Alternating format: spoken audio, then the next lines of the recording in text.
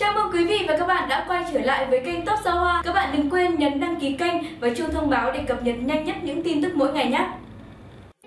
Bởi vì vấn đề cân nặng luôn được xem là một yếu tố nhạy cảm khi nếu một người nổi tiếng nào đó, đặc biệt là nữ, bị cư dân mạng phát hiện tăng cân hay lên cơ dù chỉ một chút xíu thì đều sẽ thành đề tài bàn tán trên mạng xã hội. Nên nhiều sao nữ Trung Quốc đã làm tất cả những việc như ăn ít, vận động nhiều để giảm cân. Tuy nhiên, việc duy trì thân hình gầy guộc đã khiến các sao nữ không ít lần khiến công chúng phải hốt hoảng vì nhìn như sắp đổ bệnh tới nơi. Dưới đây là một số diễn viên nữ nổi tiếng gây đến mức khiến ai nhìn cũng phải thốt lên, không phải gầy bình thường mà là gầy sơ gầy xác.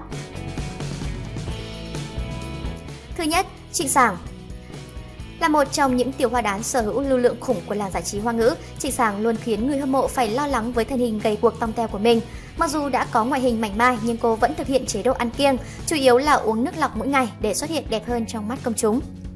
Nữ diễn viên khiến truyền thông và người hâm mộ lo lắng vì giảm cân quá đà, khiến đôi chân khẳng khiu thiếu sức sống. Thứ hai, Dương Mịch từ khi gia nhập ngành giải trí tới nay, Dương Mịch luôn là cái tên được săn đón nhất nhì làng giải trí hoa ngữ.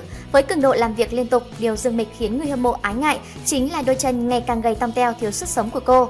Cũng như ba ngôi sao khác, Dương Mịch cũng có chế độ ăn uống nghiêm ngặt để duy trì vóc dáng. Cô chỉ hấp thu những thực phẩm giàu protein, dùng yến mạch và uống nhiều nước. Mặc dù đã là mẹ bỉm sữa một con nhưng Dương Mịch vẫn sở hữu vóc dáng mảnh khảnh, Trước đó thì Dương Mịch cũng từng khiến mọi người phát hoảng khi tiết lộ chỉ nặng 35 kg so với chiều cao là 1m68. Thứ ba, Ngô Cẩn Ngôn Ngô Cẩn Ngôn sau thành công của web drama Diên Hy Công Lược đã phút sáng trở thành mỹ nhân được săn đón nhất nhì làng giải trí xứ Trung. Tuy nhiên, một trong những yếu điểm của Ngô Cẩn Ngôn chính là ngoại hình mỏng như tờ giấy, khiến cô luôn trở thành đề tài được đem ra bàn luận. Vì thân hình quá gầy nên mỗi khi lên đồ dự sự kiện trông cô nàng không khác gì một móc treo quần áo. Hình ảnh gầy chưa xương ngoài đời của Ngô Cẩn Ngôn khiến mọi người gọi cô là phiên bản thứ hai của Trịnh Sảng. Thứ tư, Angela Baby Mặc dù luôn xuất hiện xinh đẹp rạng rỡ tại các sự kiện, hoạt động hay trên phim ảnh, nhưng bà xã của Huỳnh Hiểu Minh thường xuyên khiến người hâm mộ lo lắng cho sức khỏe của mình khi lộ khuyết điểm gầy trơ xương đến mức xót xa, thậm chí phần ngực tạo cảm giác thiếu sức sống. Với những tấm hình không qua Photoshop, bà xã của Huỳnh Hiểu Minh lộ khuyết điểm gầy trơ xương đến mức xót xa.